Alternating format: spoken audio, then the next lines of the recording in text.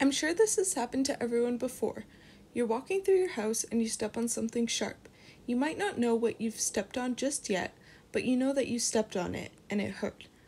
Well, I'm going to walk you through this process as it happens in your spinal system. Specifically, I will focus on the flexor reflex and the crossed extensor reflex. Keep in mind that both of these reflexes are activated simultaneously, but here I will explain them separately to show the difference. Okay, so let's focus on my foot here. I've just stepped on something sharp. The cutaneous receptors that register painful stimuli are known as nociceptors.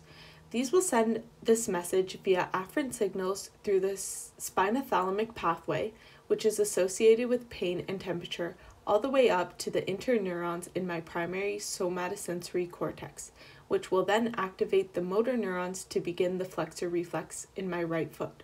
This is essentially the process of me quickly picking up my foot to move it away. The flexor muscles in my right foot will become excited to contract my hamstring muscle in order to accomplish this.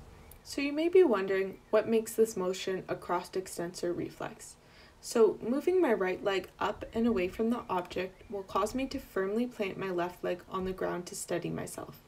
In this case, the opposite muscle group on my left leg will become activated to hold my weight. This is where you'll see me wobble on my left side to switch my balance. The reason I'm able to walk away seemingly not in pain is because I, I suffered a cutaneous injury.